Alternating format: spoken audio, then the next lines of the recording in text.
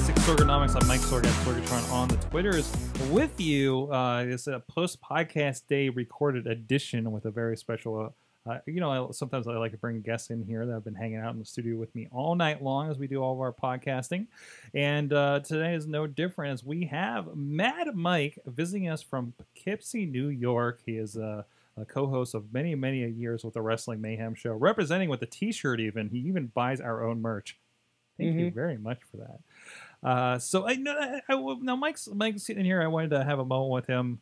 We're gonna have a moment um, because uh, you are the second. Um, um, I don't know what to call it. The bi- second visitor story we Outlander. have. Uh, the Outlander. Outlander. Uh, uh, kind of story uh, that comes from a podcast. And I think we talked about on here or other places before about um, you know, within the first year of the Wrestling Mayhem show, which is celebrating its 10th anniversary Ten. in January. Uh, We're we- celebrating Tye Dillinger's work. that's right. There you go. It's not for the people that listen to the show. Um, That's right. It's fine. but, but no, we had somebody visit us within the first year here in Pittsburgh.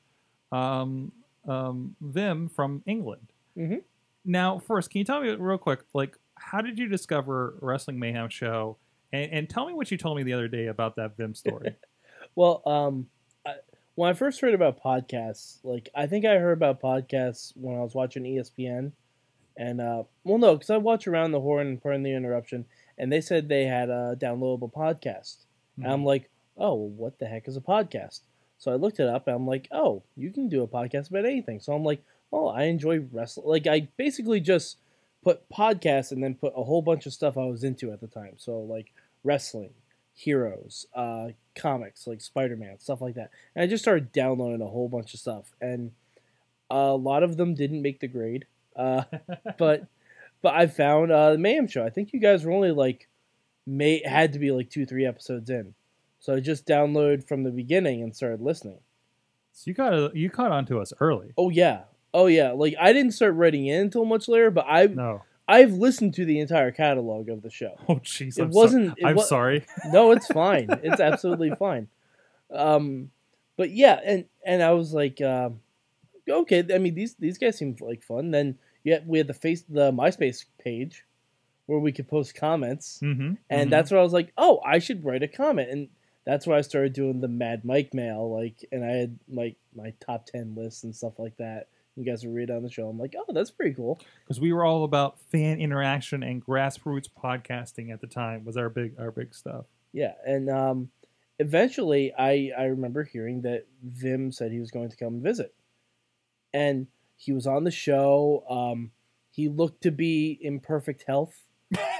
Uh, well, he was a doctor. Well, I mean, but at, at the time, I had never met anyone from over the internet because it still seemed kind of foreign to me. Like it what there was before I got Twitter, I barely used my Facebook. You know, all that, all side, or all kinds of that stuff. And uh, when I saw that he had left Pittsburgh completely intact, you know, had a great time and everything, I'm like, I'm like, hey, you know what? I should see if I can go to Pittsburgh, like just for the hell of it. And like uh, it was IWC in December. Yeah, that's the thing. We have connected. Like, like I, I, I remember when you walked into, you know, looking for a group. We were hanging out the other night, and you walked in, and in my mind, like I remember thinking to myself, "Is like, you know, I've seen him so many times and online so much. Seeing him in person, you know, no offense, doesn't seem like a big deal anymore. yeah, no, no, I You're just like, oh, hey, Mike's here. You know, yeah, exactly. No, I mean, I've been here a number of times. Since then, exactly, but- and vice versa. I've been to New York several times, hanging out with you, and and I see you how many times a week on Google Hangout yeah, seriously, doing it- this it's and quite a few. Like I mean, it's like, and I've always I've commented like Eamon is like I've met him physically twice Mhm. when he's visited Pittsburgh, and I Yeah. I need to get down to Texas, but It's he's as, WrestleMania. he's as good a friend as anybody uh, because we're online talking and we're connecting uh, as much as I do anyone in person. I think. Yeah, I mean, and it was actually kind of funny. Uh, the first time I came down here, I was staying with Chad and Dave. Right. However, I only knew them as Chad the Shad and Doc Remedy. Um, and this was before you guys were a video podcast. so I couldn't really fit a face with the name. Like I had looked at MySpace pictures beforehand, I remember. try, trying to remember what Dave looked like. Mhm. And even though in my phone, I think he's actually still listed as Doc Remedy. Um, but I I didn't know who or what to look for, and I didn't even think to ask what kind of car do you have. like I I didn't know the Pittsburgh airport. Like I was coming in completely blind. Like it could have been the start of a horror movie. But I mean, the status of your kidneys were questionable. it- well, I mean, they still are. because every time I come down here now, I drink heavily. So, you know, for different reasons. But, um, yeah, it's like, it's weird. Now I come down here, and I was telling you this before. I met more new people this time than I've that I've seen people I've known for years.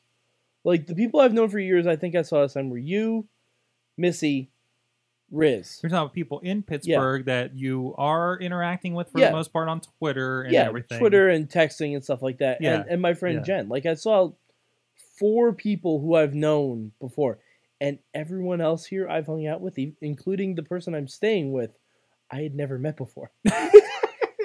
never met before in my life. Okay. So I- mean, it, it's just such. A, but I may have I've like talked to people Right, enough, right, you know, for right, years and stuff online and through text and everything. But I just never met them in the flesh. Like I uh, hung out with my friend Becky on Saturday night for her birthday, and I took a picture. I'm like in real life friends finally. Like it, it's it's such a weird feeling. Like But then you had the reverse because didn't you say I don't think I've met Riz in person? And I it's like, completely no, forgot No, about actually, we did. I completely forgot about that though because it was very quick. Because Mhm. I don't think he stayed for the whole thing. It, it- that may have been like a half hour. What was it? It was when Missy was doing the um the Dutters. Oh, oh, at the cafe. Yeah, and I totally forgot about that. Oh yeah. Not not not like going to. I didn't forget going to the. Ca- I totally forgot what Riz was there Uh huh. Uh-huh. because wasn't it Riz Riz's recipe because he was up there with Missy. Riz had another recipe I remember. Okay, all right. So there was that. yeah, so, yeah, but I, I think he did. Pop I in for that. completely rem- I completely forgot like meeting him. I think it was because he had just kind of really started with the crew and I didn't know him that well. Right, right, right. He was Yeah, the so weird it- guy. Yeah, well, I mean, still is. Yeah, Like, that's let's be That's real. true. I mean, we all are. Yeah. But it was like before I started talking to Riz, essentially once or twice a week, every week. hmm So I mean, I hadn't gotten to know, but I feel like this was the first time I met Riz. Right. You know, because I I don't think he really talked to me that much because I think he was still kind of wary, like, ooh, dude from New York. I don't know. that seems like the right response, to be honest. Mhm. Um, yeah. Uh, no, that's uh, that's all right.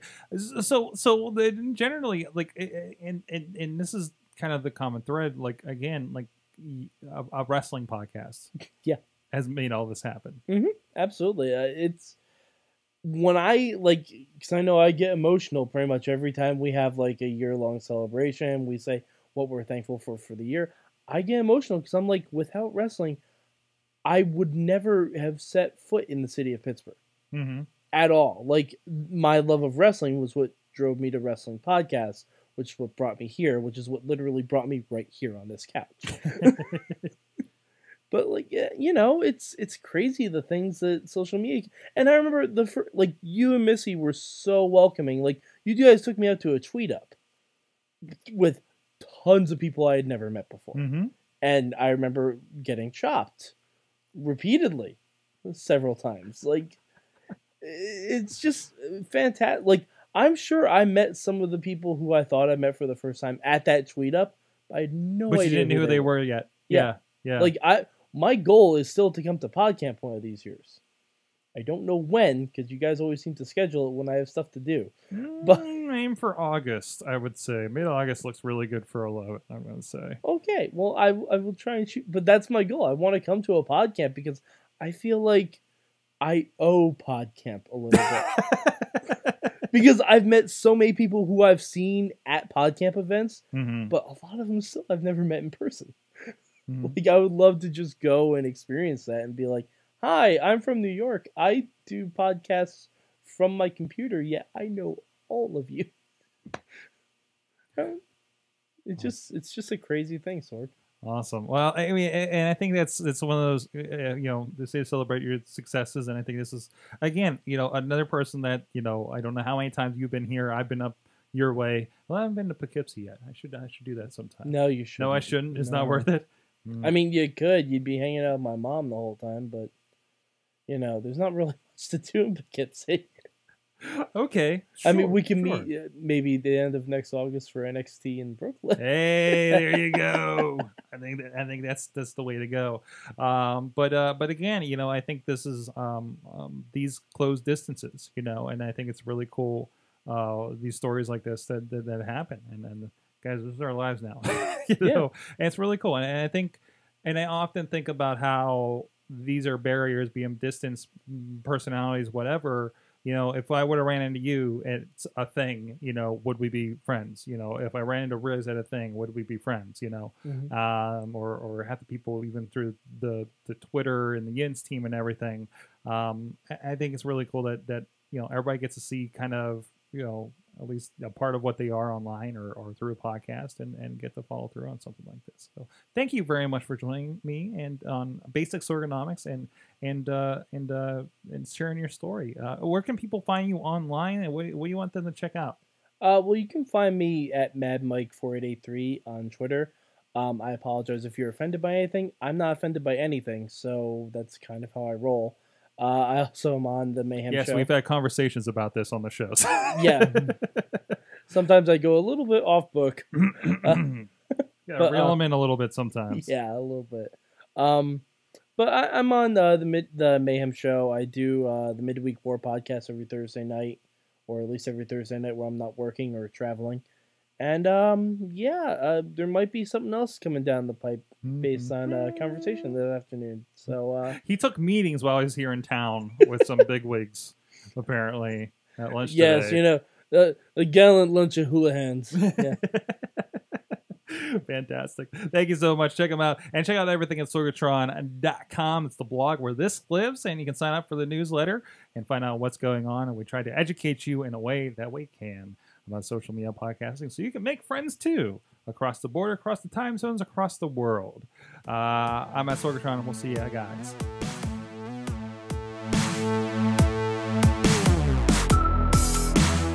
This show is a member of the Sorgatron Media Podcast Network. Find out more at sorgatronmedia.com.